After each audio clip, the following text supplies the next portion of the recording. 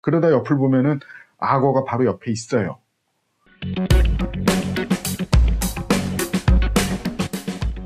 Up and sit down.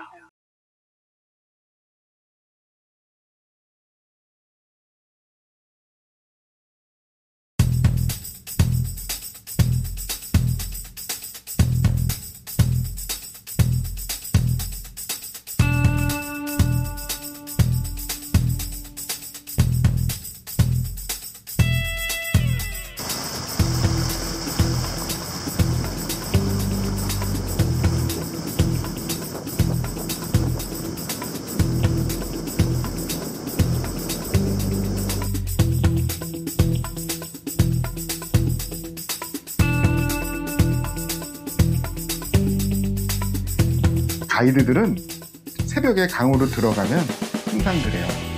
여기 포인트다. 이때는 popper 아니면 dog walking.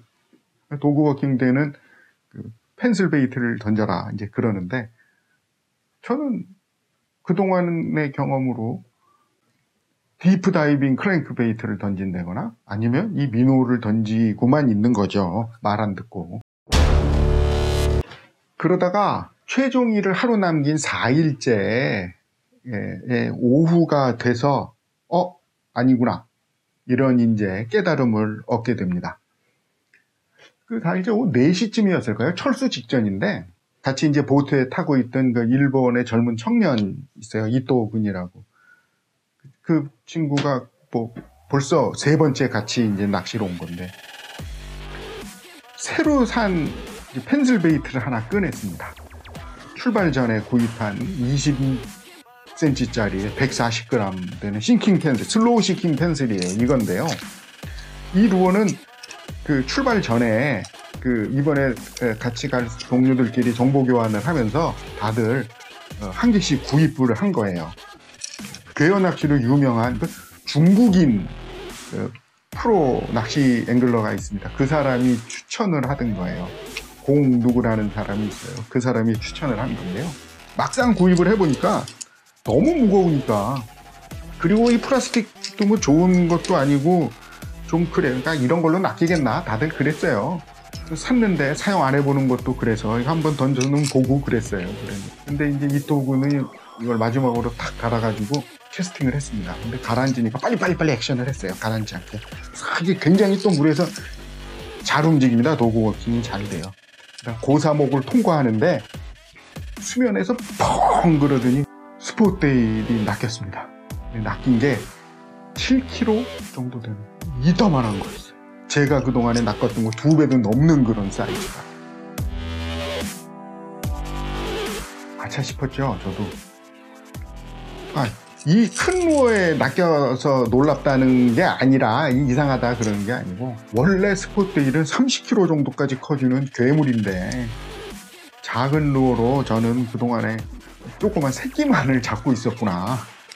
가이드 말 안 듣고 어, 내 고집대로만 하다가 완전히 어, 이걸만 던져서 대낮에 돌아다니는 어린이 스포테일만 낳고 있었구나. 가이드 말 안 듣고 섣부른 판단에 의지했던 후회가 아 내가 잘못했다라는 후회가 밀려왔습니다. 스포테일의 대여는 아침 저녁으로만 좀 낚이는 것 같았어요. 그것도 이제 타버터에 ちょっと動けるように回れる人の方がいいです入られてるまだ大丈夫入れてない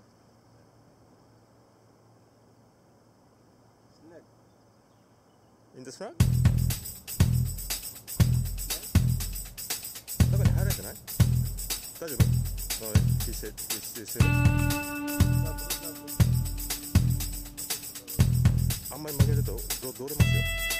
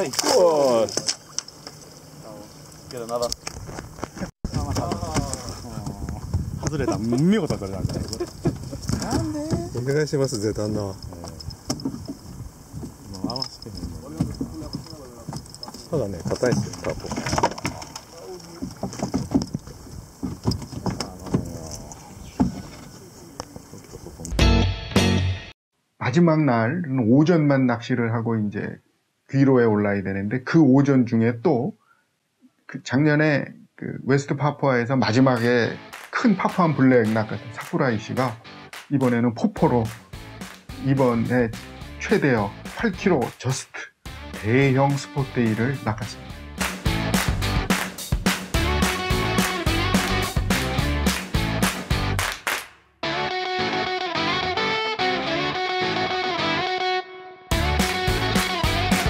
저는 그 누구보다 참가자들 중에서 누구보다 가장 많은 스포테일은 나갔어요. 이걸 이용해서 그랬는데 전부 저는 최대가 3kg?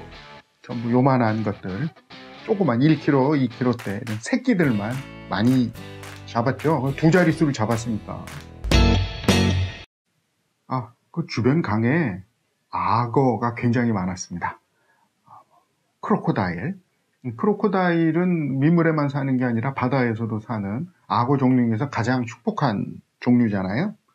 더운 날씨에 현지민들이 가끔 강에서 멱을 감다가 악어한테 많이 공격을 당한다고 그래요. 그래서 1년에 한 서너 명 정도가 어, 목숨을 잃는다고 합니다. 크로코다일한테 물려서. 그 기온이 대낮이 되면 40도를 넘어가요. 굉장히 덥습니다. 우리 가이드 중에 하나인 이 제이콥이라는 이 친구도 너무 더우면 우통을 벗고 물로 들어갑니다. 또 물이 맑고 정말 깨끗하기 때문에 뛰어들고 싶은 그런 욕망이 안 생길 수가 없는 그런 강이에요. 그런데 그 친구도 이렇게 확 멱을 감고 나오면서 이러다가 주변을 잘 살펴야 되는데 이러다가 많이 공격을 당한다고 웃더라고요. 그래서 저희, 근데 저희는 엄두가 안 났습니다. 물 속에 이렇게 들어가서 멀리 불 속에 보이는 그 검은 그림자가 이게 악어인지 고사목인지 구분을 할 수가 없으니까요. 캐스팅을 하다가 조금 이제 잘못 던지면 그 망- 맹글로브 가지에 이렇게 걸리거든요. 조금 더 많이 던지면 그러면 이제 배를 그 가까이 붙여서 띄어내려고 이제 그럽니다. 그러다 옆을 보면은 악어가 바로 옆에 있어요. 크기 뭐 2m, 3m 일어나 커다란 악어가 있습니다.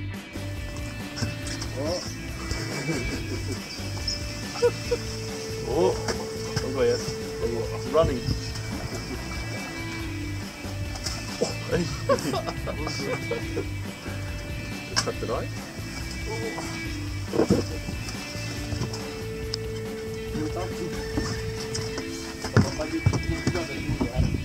Ikke slutt å holde på. Det er en god, god menn.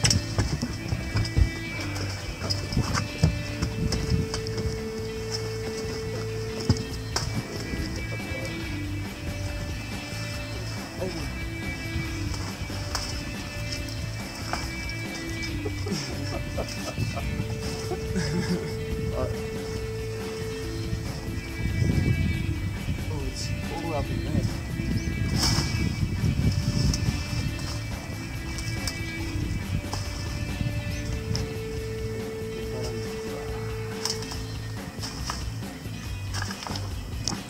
Oh, yes, iya. Kabelan? Iya. Cari Troy sisi sulit kan? Uh, blurry.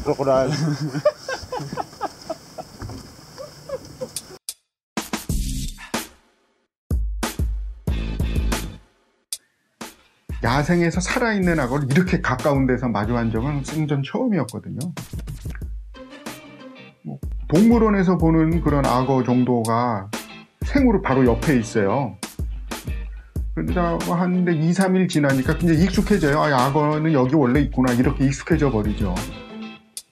그러다가 한 번은 강에 꽤 깊숙이까지 들어갔는데 거기에 이제 악어 사체를 하나 만났어요. 근데 뒤집어져 있는데 크기가 4m가 넘는 정말 크더라고요. 5m 가까이 되는 아, 악어인데 이제 죽은 지 좀 됐는지 이제 부패가 돼서 배가 이제 가스로 부풀어 오르고 내장도 좀 이렇게 항문에서 삐져나와 있는 그런 악어였는데 죽은 거였는데도 이렇게 좀 공룡만 하니까 어우 소름 끼치고 무섭더라고요. 아무튼 이번 조행에서는 반성할 점이 저는 꽤 있었습니다. 젊었을 때처럼 귀를 열고 어, 낚시에 임해야 되는데 어, 나이 먹고 나서 저는 조금은 현명해졌다고 생각을 하고 있었는데 그게 아니었던 모양입니다. 아직도 먼 것 같아요. 최종일 날 오전에 귀로에 오르기 전에 우리들이 이제 안 가본 강에 들어갔어요. 다들. 그 강은 하구부터 물이 굉장히 맑고 또 수심이 굉장히 깊더라고요. 근데 그 맑은 물이니까 그 깊은 수심에 정말 이만한 20kg대, 30kg대 퍼프함 스포테일이 우글우글 하는 거예요. 너무너무 많습니다. 뭐 각종 루어를 다 그 눈앞에 떨어뜨리고 움직여봐도 루어는 거들떠보지를 않아요. 그렇게 개체가 많은데 왜 전혀 반응을 안 하는지는 저는 잘 모르겠어요. 아직도 좀 모르겠습니다. 근데 그 강에는 어마어마하게 많은 스포트 데일이 있었어요. 그대로 이제 보트를 몰고 화산에 뭐 안녕을 고하고 귀로에 오릅니다. 또 이름 모르고 조그만 항구에 2시간 걸려서 도착을 해서 거기서 이제 리조트에서 보내준 SUV로 갈아타고 다시 4시간 리조트로 돌아갑니다. 또 리조트에서 1박 후 그 다음날 귀국을 하는 그런 이제 일정인데 제 원정 낚시에서 이대로 끝나면 재미가 없잖아요. 여행자이신 에르메스의 장난은 여지없이 또 나타났습니다. 킴베에서 포토 모레스비로 가는 국내선이 안 오는 거예요. 이유도 없이. 포토 모레스비로 가서 공항에서 2시간 정도 대기를 하고 국제선을 타고 일본 도쿄 나리타로 이제 가는 걸로 예약이 돼 있고 저는 다시 거기서 1박을 하고 그 다음날 아침 비행기로 인천으로 돌아오는 그런 이제 일정을 짜져 있었거든요.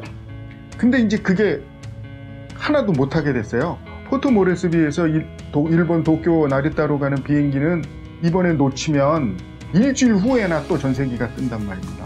다들 이제 큰일 났죠. 어떡하지? 이제 막 찾아봤습니다. 그랬더니 포트모레스비에서 시드니로 내려가서 시드니 경유해서 나리따로 가는 비행기 그런 건 있어요. 어마어마하게 돌아가는 거죠. 지구를 뭐 이렇게 끝까지 내려갔다가 다시 올라오는 거니까. 근데 이제 에어 뉴기니에서 연락이 왔어요. 자기네들 국내선 비행기 자기네들이 문제니까 어떻게 해서든지 해주겠다. 그래서 공항으로 다시 갔어요. 포트 모레스비로 가는 다른 비행기를 어떻게 어떻게 탔습니다. 포트 모레스비에 내렸더니 그 에어 뉴기니의 직원이 뚱뚱하신 아주머니 한 분이 나와서 손발 들고 우리들을 기다리고 있더라고요. 짐을 다 꺼내 우리 것만 따로 꺼내내서 싣고 국제선으로 내 달렸습니다. 막 달렸어. 갔더니 국제선에 홍콩으로 가는 비행기 747 비행기를 못 가게 묶어놨더라고요. 벌써 승객들은 다 타고 출발을 해야 되는데 출발 시간이 30분 이상 지났는데도 그냥 기다리고 있는 거예요. 그러니까 우리들은 마지막으로 타는데 사람들이 다 쳐다보죠. 저놈들 뭔데 우리 누가 저놈들 기다리냐 이런 식으로. 홍콩에 착륙을 했어요. 홍콩 공항 안에서 하루 종일 대기를 하고 거기서 이제 또 홍콩에서 일본 나리따로 가는 비행기를 타고 나리따로 갔습니다. 그 다음날 새벽에 나리따에 내린 거예요.